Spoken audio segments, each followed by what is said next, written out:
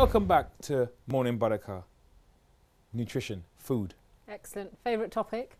Um, so this morning we're going to have um, vitamin boost and a food that's good for energy and obviously boosting our vitamins. Um, Absolutely, the goodness absolutely. of the food that we're extracting.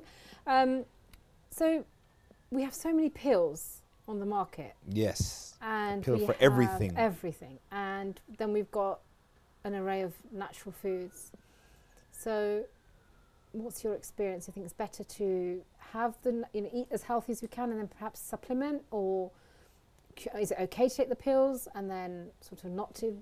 I am an I'm an advocate of the natural. So Mhm. I'm I'm not really a fan of pills personally. I Yeah. mean some people gain benefits, cod liver oil tablets, whatever, but I prefer making that your food is your medicine. Making the, f- the, the actual diet or the nutritional intake that you have Mhm. is healthy and that is the key. So, on a daily basis, do you have a lot of vegetables, protein like fish, oily fish? What do you do to make sure that you're hitting your vitamin? Well, they talk. They always talk about a balanced diet. So it's Yeah. about having the right proportions of carbohydrates, healthy fats. I'm stressing the healthy fats because not just fats, but healthy fats, and also your proteins having a good mixture. Okay, so for the sake of the viewers, carbohydrates.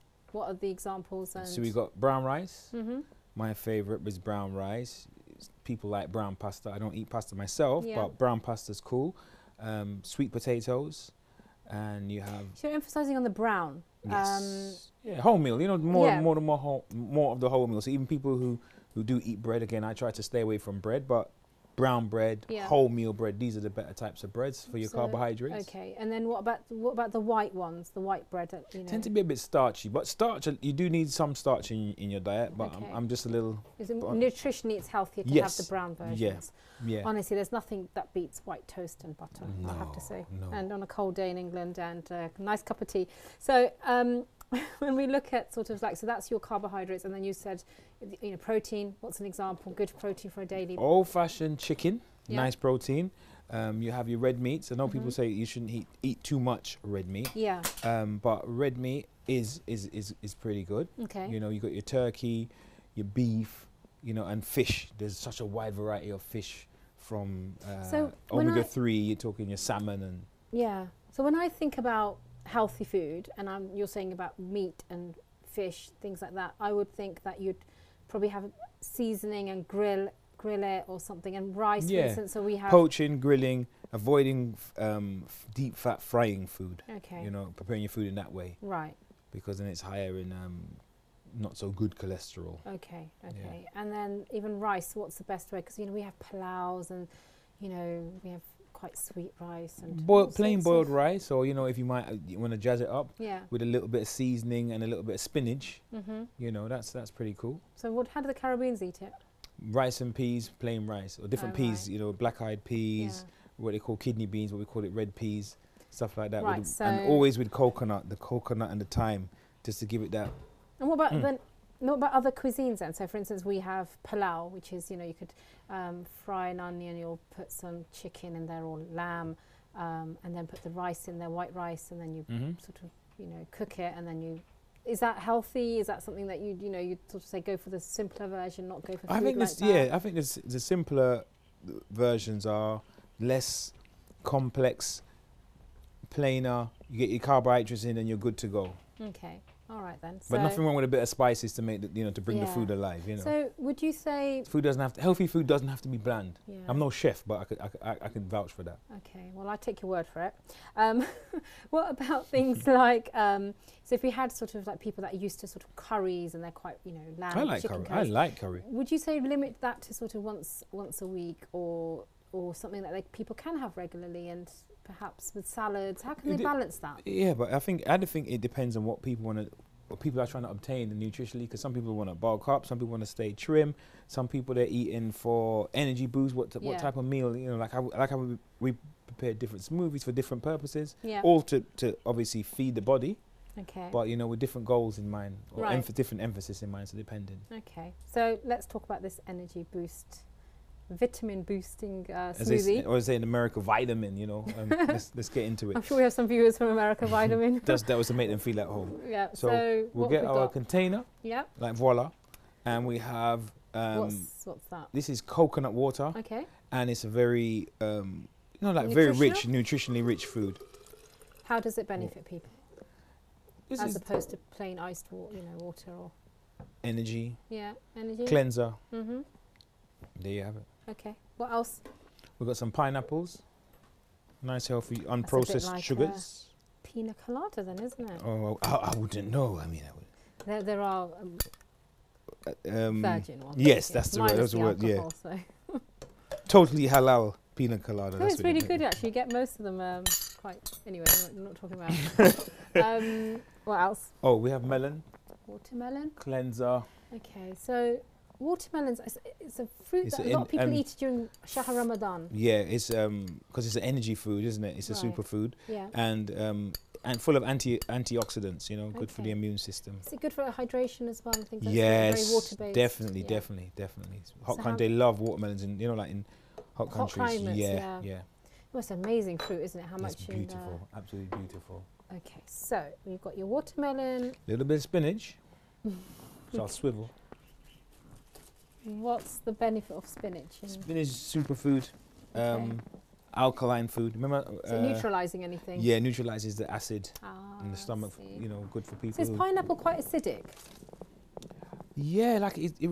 It reminds me of like citrus family. Yeah. You know, that little yeah, bit as tangy, isn't it? yes. Right. What else have you got? Um, bit of green apple, bosh, bish, and um, banana. Right. So they're going to be. And children, please don't try this at home without supervision of an adult. Yeah. That's that's. Uh, I'm just thinking you've got a mixture of vegetables and fruit in there. Yep. So spinach is that something? Is that quite a common ingredient for smoothies? Yeah. Yes, that's one of the, the um, interesting things about smoothies that they, people, you know, kind of originally just thought of smoothies as, Yeah. you know, it's just some fruit Yeah. whipped up. Yeah. But now, you know, we're getting more creative Mm. with the combinations, and then people are surprised because they think, "Oh, how does that go together?" Mm. You know, but they do. Yeah. You'd be amazed. Do you think you can just mix anything? Like, you know, if you were just having one of those days, got lots of ingredients, just um, chopping it all up, and I don't know if um. or is it something that you should really have sort of a base to? Yeah, I think it, it- you can probably if you if you don't know what you're doing, there's no there's no danger. You're not in any danger, but you might Someone put like but you might put sort of acidic with alkaline oh. and you know things like that. Okay. You wouldn't want to put like I don't know Okay. milk with orange or something that would, Yeah. would, would be antagonistic and curdle. So Yeah. you know, Okay. So you're putting in. so we're just getting the bananas in. Yeah, and no, banana makes it quite. Um, Gives it body. it? It's like. You think so? Yeah. makes it rich. Mm, definitely. Okay. That's, that looks so Alright. colourful. Uh, it looks good, doesn't it? Yeah, it does. Almost just good to eat. I almost don't want to blend it. So,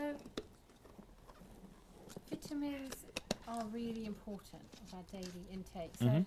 what about people, you know, for sort of like the mood it puts people in? You know, if, if we're lacking vitamins, for instance, uh, they're quite important for people to have on a sort of regular intake of a variety of vitamins. Mhm. Um, so, in terms of mood, how does it? How do vitamins actually affect mood? If you become def- um, deficient in something, Mm-hmm. it does show up in certain characteristics, doesn't it? In your behaviour. I mean, you could have people that have, you know, vitamins that are lacking, um, you know, A, you know, C, vitamin C. And Yeah, yeah, yeah. The vitamins are, are quite quite important to the body. I mean, I've, I even know that, for example, that if you have certain bone conditions, Mm. scoliosis, for example, you know, curva- curve, Yeah. curvature of the, the spine, you know, if you don't have vitamin D, for example, Yeah. that it can even affect, you know, you, you can actually increase the spine, Yeah. the, the, the actual curve. yeah. So is that, is that important? But food in general, Mm. food affects mood. There's there's been a lot of research out about food and mood.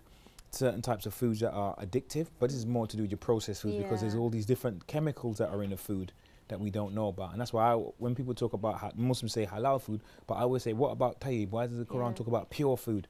You know, because there's Yeah. certain additives that they might come under the halal banner, but I don't know in terms of our, making our sugars crash and you know rise, sharp, yeah. spike and crash and things like this. So Mm. you know it And, can it's, and for children growing and elderly as well. Exactly. pregnant women. exact- These all things medical conditions.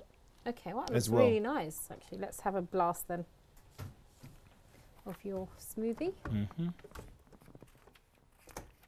And while you are doing that, I am going to just quickly narrate a hadith about Let's see how this goes. Okay, so um, four food possesses four qualities, and if we have them, they are that makes- makes per- food perfect. So it's being halal, eating it with other people. So you're talking about, you know, cultures, sharing the culture, world cultures, and sharing food. Um, starting with the name of Allah and ending it with the praise of God. And that's that's the Holy Prophet, peace be upon him, who's you know not just telling us how to eat food, like being make sure it's halal. Um, it's a sharing as well. Um, and then remembering Allah that He has given us this blessing. Um, Alhamdulillah. Wow. okay, Give it a whisk. it's interesting. It looks nothing like that spinach. Just overpowers it, doesn't it? It does indeed. It's all green, and the Um, apple, the apple as well. The apple as well, yeah. And it's good to Does it make a difference which apples kind of you use in smoothies, like red or? only slightly, only slightly. I Its would tastes say. are quite different, aren't they? Yeah, They're yeah. But apple a day yeah. does keep the doctor away. They say. Okay. Are we? Our poor camera crew are probably got their mouth watering. hmm I can smell the apple in this actually. The apple Really? quite rich. Yeah, which is good. And you put ha- about half in, didn't you? So. Yeah. Okay. All right. Voila. It's Voila. exciting. Bosh, bish. Right. Excuse me. Thank you. All right. This Right. here goes. Three, two, one. Bismillah.